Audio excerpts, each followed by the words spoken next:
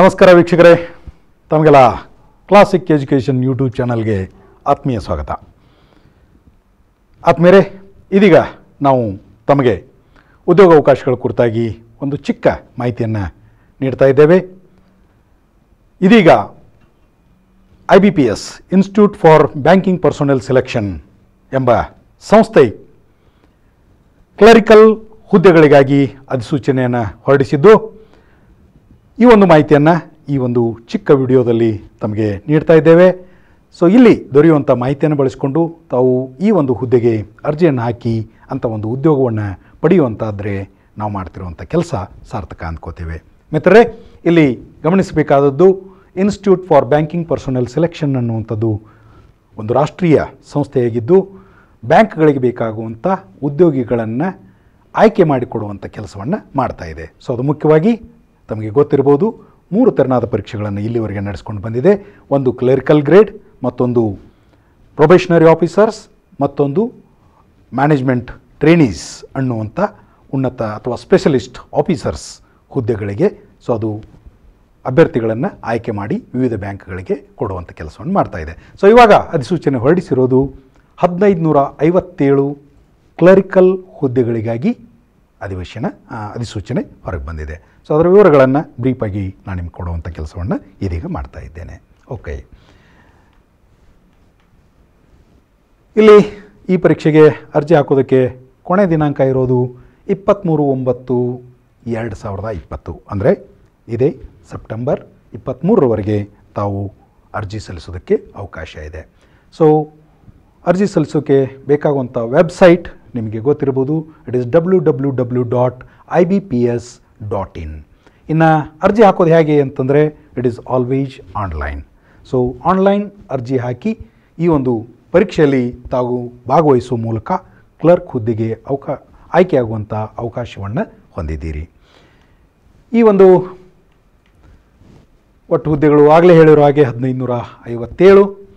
ಹಾಗಿದ್ರೆ ಈ ಪರೀಕ್ಷೆಗೆ ಯಾರೆಲ್ಲ ಅರ್ಜಿ ಹಾಕ್ಬೋದು ಅಂತ ಕೇಳಿದರೆ ಯಾವುದೇ ಅಂಗೀಕೃತ ವಿಶ್ವವಿದ್ಯಾಲಯದಿಂದ ಯಾವುದೇ ಪದವಿಯನ್ನು ಪಡೆದವರಾಗಿರಬೇಕು, ಜೊತೆಗೆ ಕಂಪ್ಯೂಟರ್ ಜ್ಞಾನವನ್ನು ಹೊಂದಿರಬೇಕು, ಆ ಬಗ್ಗೆ ಒಂದು ಸರ್ಟಿಫಿಕೇಟ್ ಕೂಡ ಪಡೆದಿರಬೇಕು ಅನ್ನುವಂಥದ್ದು ಮೋರ್ಸೋ ಮೋರ್ಸೋ ಯಾವ ರಾಜ್ಯಕ್ಕೆ ನಿಮ್ಮ ನೇಮಕಾತಿ ಅನ್ನುವಂಥದ್ದು ಆಗ್ತದೆ ಆ ರಾಜ್ಯದ ಆಡಳಿತ ಭಾಷೆ ಅಥವಾ ಸ್ಥಳೀಯ ಭಾಷೆಯ ಕುರಿತಾಗಿ ತಮಗೆ ಜ್ಞಾನ ಇರಬೇಕು ಅನ್ನುವಂಥದ್ದು. ಇದು ಅಪೇಕ್ಷಿತ ಎಲಿಜಿಬಿಲಿಟೀಸ್ ಅನ್ನುವಂಥದ್ದನ್ನು ನಾವು ನೋಡ್ತಾ ಇದ್ದೇವೆ. ಆಮೇಲೆ ವಯೋಮಿತಿ ಎಷ್ಟು ಅಂತ ಕೇಳಿದರೆ, ಸೊ ಇಲ್ಲಿ ಕನಿಷ್ಠ ಇಪ್ಪತ್ತು ವರ್ಷ ವಯಸ್ಸಾಗಿರಬೇಕು. ಗರಿಷ್ಠ ಸಾಮಾನ್ಯ ಅಭ್ಯರ್ಥಿಗಳಿಗೆ ಇಪ್ಪತ್ತೆಂಟು ವರ್ಷ ಮೀರಿರಬಾರ್ದು ಅನ್ನುವಂಥ ನಿಯಮ ಇದೆ. ಇನ್ನು ಎಸ್ ಸಿ ಎಸ್ ಟಿಗಳಿಗೆ ಐದು ವರ್ಷದ ರಿಯಾಯಿತಿ ಇದೆ, ಅಂದರೆ ಎಕ್ಸ್ಟೆನ್ಷನ್ ಇದೆ. ಒ ಬಿ ಸಿಗಳಿಗೆ, ಅಂದರೆ ಅದರ್ ಬ್ಯಾಕ್ವರ್ಡ್ ಕಾಸ್ಟ್ಸ್ ಅಂತ ಏನು ಕರಿತೀವಿ, ಈ ಥರ ಹಿಂದುಳಿದ ವರ್ಗಗಳು, ಜಾತಿಗಳು ಏನಿದ್ದಾವೆ ಅವರಿಗೆ ಮೂರು ವರ್ಷದ ಗರಿಷ್ಠ ವಯೋಮಿತಿಯಲ್ಲಿ ರಿಯಾಯಿತಿ ಇರುವಂಥದ್ದು. And of course disabled ಕ್ಯಾಂಡಿಡೇಟ್ಸ್ಗೆ ten years extension in age limit ಅನ್ನುವಂಥದ್ದನ್ನು ಕೂಡ ನಾವು ನೋಡ್ತೀವಿ. ಇನ್ನು ಈ ಒಂದು ಪರೀಕ್ಷೆ ಯಾವ್ಯಾವ ಬ್ಯಾಂಕ್ಗಳಿಗಾಗಿ ಅಭ್ಯರ್ಥಿಗಳನ್ನು ಆಯ್ಕೆ ಮಾಡೋ ಸಲುವಾಗಿ ನಡೀತಿದೆ ಅಂತ ಕೇಳಿದರೆ you can make out Allahabad bank Andhra bank bank of Baroda bank of India bank of Maharashtra Canara bank, central bank of India, corporation bank, Indian bank, Indian overseas bank, oriental bank of commerce, Punjab national bank, Punjab and Sind bank, syndicate bank, UCO bank united bank of India, united bank of India. And of course ಇವತ್ತರೊಳಗೆ ಸುಮಾರಷ್ಟು ಬ್ಯಾಂಕ್ಗಳು ಇತ್ತೀಚೆಗೆ merger ಆಗಿದ್ದಾವೆ ವಿಲೀನಗೊಂಡಿದ್ದಾವೆ ಅನ್ನುವಂಥದ್ದನ್ನು ಕೂಡ ತಾವು ಗಮನಿಸಬೇಕು.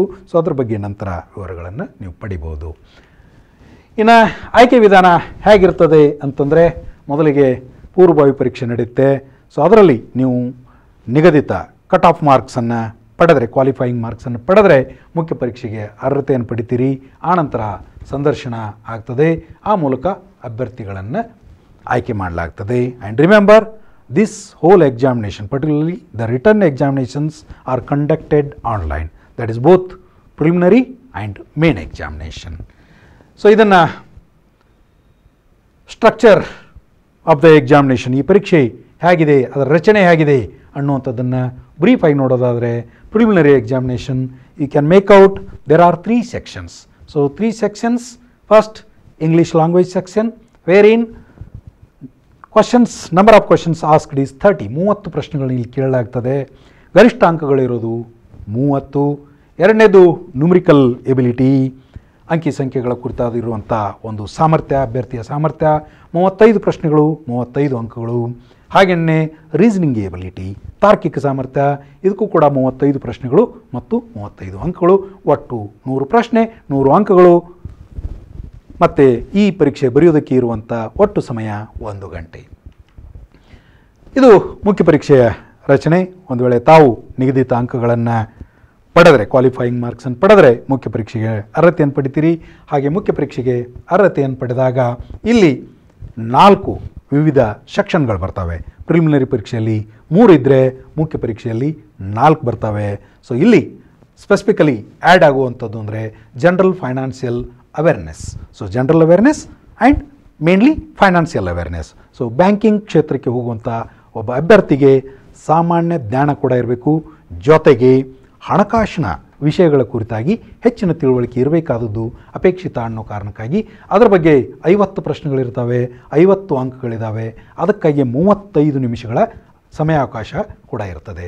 Then general English you are having forty questions forty marks and thirty five minutes is time given to write this section then reasoning ability and computer aptitude as ತಾರ್ಕಿಕ ಸಾಮರ್ಥ್ಯ ಮತ್ತು ಗಣಕ ಯಂತ್ರದ ಕುರಿತಾಗಿ, ಕಂಪ್ಯೂಟರ್ ಕುರಿತಾಗಿರುವಂಥ ಜ್ಞಾನವನ್ನು ಪರೀಕ್ಷಿಸುವಂಥ ಒಂದು ಸೆಕ್ಷನ್ ಇದೆ. ಇಲ್ಲಿ ಐವತ್ತು ಪ್ರಶ್ನೆಗಳಿದ್ದಾವೆ ಅರವತ್ತು ಅಂಕಗಳಿದ್ದಾವೆ ನಲವತ್ತೈದು ನಿಮಿಷದ ಸಮಯಾವಕಾಶ ಇದೆ. ಕೊನೆಯದು, ಗಣಿತೀಯ ಸಾಮರ್ಥ್ಯ ಅಥವಾ ಕ್ವಾಂಟಿಟೇಟಿವ್ ಆಪ್ಟಿಟ್ಯೂಡ್ ಅನ್ನುವಂಥದ್ದು. ಇಲ್ಲಿ ಐವತ್ತು ಪ್ರಶ್ನೆಗಳು, ಐವತ್ತು ಅಂಕಗಳು, ನಲವತ್ತೈದು ನಿಮಿಷ, ಒಟ್ಟು ನೂರ ತೊಂಬತ್ತು ನಿಮಿಷದ ನೂರ ತೊಂಬತ್ತು ಪ್ರಶ್ನೆಗಳಿರ್ತವೆ ಎರಡು ನೂರು ಅಂಕಗಳಿದ್ದಾವೆ ಸೊ ಅದಕ್ಕೆ ನೀವು ಒಂದುನೂರ ಅರವತ್ತು ಮಿನಿಟ್ ಟೈಮನ್ನು ಇಲ್ಲಿ ಕೊಟ್ಟಿರುವಂಥದ್ದನ್ನು ನಾವು ನೋಡ್ತಾ ಇದ್ದೀವಿ. ಓಕೆ, ತಪ್ಪು ಉತ್ತರಕ್ಕೆ ನೆಗೆಟಿವ್ ಮಾರ್ಕಿಂಗ್ ಅನ್ನುವಂಥದ್ದನ್ನು ಇವತ್ತು ಬಹುತೇಕ ಪರೀಕ್ಷೆಗಳಲ್ಲಿ ಅಳವಡಿಸಿಕೊಳ್ಳಲಾಗಿದೆ. ಅದೇ ರೀತಿಯಾಗಿ ಬ್ಯಾಂಕಿಂಗ್ ಪರೀಕ್ಷೆಯಲ್ಲೂ ಕೂಡ ಇದೆ.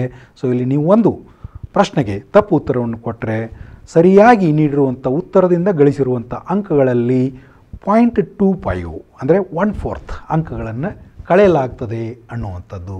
ಇನ್ನು ಕರ್ನಾಟಕದಲ್ಲಿ ಪರೀಕ್ಷೆ ಬರೆಯೋರಿಗೆ ಪ್ರಿಲಿಮಿನರಿ ಪರೀಕ್ಷೆಗೆ ಯಾವೆಲ್ಲ ಕೇಂದ್ರಗಳನ್ನು ನೀವು ಆಯ್ದುಕೊಳ್ಬೋದು ಅಂತಂದರೆ ಬೆಂಗಳೂರು, ಬೆಳಗಾವಿ, ಬೀದರ್, ದಾವಣಗೆರೆ, ಧಾರವಾಡ, ಗುಲ್ಬರ್ಗ, ಕಲಬುರಗಿ ದಟ್ ಈಸ್ ಕಲಬುರಗಿ, ಹಾಸನ, ಹುಬ್ಬಳ್ಳಿ, ಮಂಗಳೂರು, ಮೈಸೂರು, ಶಿವಮೊಗ್ಗ ಮತ್ತು ಉಡುಪಿ. ಇದು ಪ್ರಿಲಿಮಿನರಿ ಪರೀಕ್ಷೆಗೆ ಇರುವಂಥದ್ದು ಮುಖ್ಯ ಪರೀಕ್ಷೆಗೆ ನಿಮಗೆ ಬೆಂಗಳೂರು, ಹುಬ್ಬಳ್ಳಿ ಮತ್ತು ಮಂಗಳೂರು ಮೂರು ಕೇಂದ್ರಗಳಲ್ಲಿ ಪರೀಕ್ಷೆಯನ್ನು ಬರೆಯೋದಕ್ಕೆ ಅವಕಾಶ ಇರುವಂಥದ್ದು ಇನ್ನು ಕಟ್ ಆಫ್ ಸ್ಕೋರ್ ಅದು ಬೇರೆ ಬೇರೆ ಸಂದರ್ಭದಲ್ಲಿ ಬೇರೆ ಬೇರೆ ಆಗಿರ್ತದೆ. ಸೊ ಅದನ್ನು ತಾವು ಗಮನಿಸಬೇಕಾಗ್ತದೆ. ಆ್ಯಂಡ್ ಎಸ್ ತುಂಬ ಮಹತ್ವದ್ದು ನಿಮಗೆ ಗಮನಕ್ಕೆ ನಾನು ತರಬೇಕಾದದ್ದು. ಪ್ರಾಬಬ್ಲಿ ಈ ವರ್ಷ ಅಥವಾ ಇದೇ ಐ ಬಿ ಪಿ ಎಸ್ನಿಂದ ನಡೆಸುವ ಪ್ರಿಲಿಮಿನರಿ ಇದೇ ಕೊನೆ ಪರೀಕ್ಷೆ ಆಗ್ತದೆ ಏನೋ ಅನ್ನೋದನ್ನು ಕೂಡ ತಾವು ಗಮನಿಸಬೇಕು. ಯಾಕಂತಂದರೆ ಈಗಾಗಲೇ ಕೇಂದ್ರ ಸರ್ಕಾರ ತೆಗೆದುಕೊಂಡಿರುವಂಥ ನಿರ್ಧಾರದ ಮೇರೆಗೆ ನ್ಯಾಷನಲ್ ರಿಕ್ರೂಟ್ಮೆಂಟ್ ಏಜೆನ್ಸಿ ಅಥವಾ ಅಥಾರಿಟಿಯನ್ನು ಸ್ಥಾಪಿಸೋದಕ್ಕೆಲ್ಲ ಸಿದ್ಧತೆಯನ್ನು ಮಾಡಿಕೊಳ್ಳಲಾಗಿದೆ. ಸೊ ಮುಂದಿನ ವರ್ಷಗಳಲ್ಲಿ institute of I B P S that N R I will conduct a common test to qualify candidates for main examination so ಇದನ್ನು ಕೂಡ ತಾವು ಗಮನದಲ್ಲಿ ನೆನಪಿಟ್ಕೊಳ್ಬೇಕು. ಇನ್ನು ಇಲ್ಲಿ ಏನೆಲ್ಲ ಬೇಕು ಅನ್ನುವಂಥದ್ದಕ್ಕೆ ಒಂದು ನಿಮ್ಮದು ಇಮೇಲ್ ಇರಬೇಕಾಗ್ತದೆ ಕಡ್ಡಾಯವಾಗಿ. ಸೊ ಅಲ್ಲಿ ನೀವು ಇಮೇಲ್ ಮೂಲಕನೇ ಇಲ್ಲೆಲ್ಲ ನಿಮ್ಮ ಕಮ್ಯುನಿಕೇಷನ್ ಅನ್ನುವಂಥದ್ದು ನಡೀತದೆ.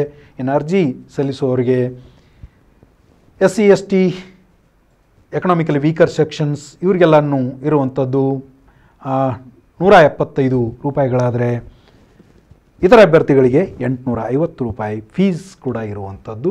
ಸೊ ಇದಿಷ್ಟು ಈ ಒಂದು ಅರ್ಜಿ ಸಲ್ಲಿಸೋದು. ಹೇಗೆ ಅಂತಂದರೆ ನೀವು ಖಂಡಿತವಾಗಿಯೂ ಆಗಲೇ ಹೇಳಿರುವಂಥ W W W dot I B P S dot in ಅಲ್ಲಿ ಹೋಗಿ ಅರ್ಜಿಯನ್ನು ಸಲ್ಲಿಸಬೇಕಾಗ್ತದೆ ಅನ್ನುವಂಥದ್ದು. ಸೊ ಅದರ ವಿವರಗಳನ್ನು ನೀವು ಇದೇ ವೆಬ್ಸೈಟ್ನಲ್ಲಿ ಪಡೆಯೋದಕ್ಕೆ ಇರುವಂಥದ್ದನ್ನು ನೋಡ್ಕೋಬೇಕು. ಸೊ ಇಷ್ಟನ್ನು ಮಾಡಿದರೆ ತಾವು ಮೊದಲಿಗೆ ಈ ಪರೀಕ್ಷೆ ಬರೆಯೋದಕ್ಕೆ ಅರ್ಹತೆಯನ್ನು ಪಡಿತೀರಿ. ಅರ್ಜಿ ಆಗುವಾಗ ಹೆಚ್ಚು ಎಚ್ಚರ ವಹಿಸಬೇಕು.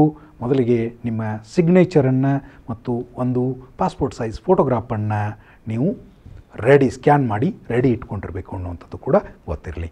ಸೊ ಹೀಗೆ ಮಾಡಿ ಈ ಒಂದು ಪರೀಕ್ಷೆಗೆ ಅರ್ಜಿ ಸಲ್ಲಿಸಿ ಯಶಸ್ಸನ್ನು ಪಡ್ರಿ ಅಂತ ಹೇಳ್ತಾ ಇವತ್ತಿನ ಉದ್ಯೋಗ ಮಾಹಿತಿ ಕಾರ್ಯಕ್ರಮಕ್ಕೆ ವಿರಾಮವನ್ನು ನೀಡ್ತಾ ಇದ್ದೇವೆ. ನಮಸ್ಕಾರ.